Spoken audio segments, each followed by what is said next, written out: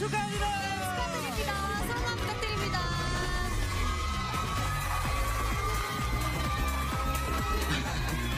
감사합니다. 아, 저번 주에 이어서 이렇게 큰 상 주셔서 너무 감사드리고 아 오늘 이렇게 깜짝으로 생방에 왔는데 팬분들께서 또 이렇게 찾아와 주셔서 진심으로 감사드립니다. 아 멤버들이 없으니까 혼자서 너무 떨리는데 어, 1위에서 너무 영광이고 앞으로 더 성장하는 제가 될 수 있도록 하겠습니다. 아, 이번에 도와주신 모든 뭐 작곡가분들, 스태프분들 그리고 엠카 관계자분들 다 너무너무 감사드립니다. 방탄 많이 사랑해주세요. 감사합니다.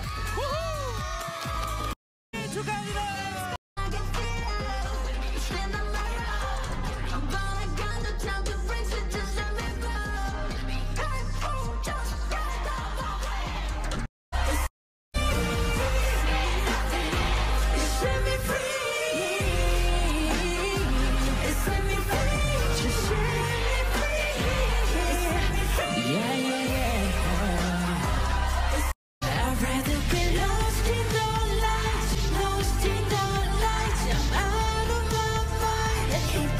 you.